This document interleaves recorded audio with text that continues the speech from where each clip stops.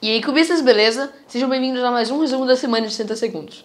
Bom, essa semana foi bem paradinha, não teve nenhum recorde mundial e nenhum campeonato que aconteceu aqui no Brasil, mas tivemos três recordes relativamente importantes. O primeiro foi do Jake Klassen, que fez um 16.88 no 3x3 vendado.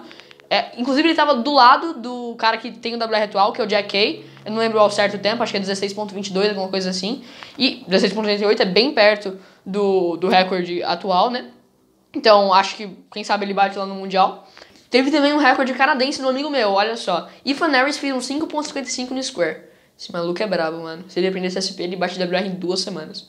Um outro recorde foi batido no Square, dessa vez pelo Aiden Barlett, que bateu o recorde norte-americano de média no Square com um insano 7.11, ficando agora nessa, dessa vez em terceiro lugar no mundo.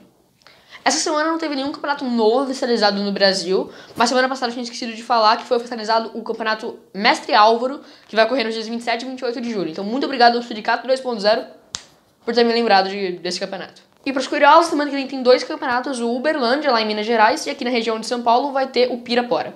Como eu disse no começo do vídeo, realmente não teve muita coisa que aconteceu no mundo do Cubo essa semana.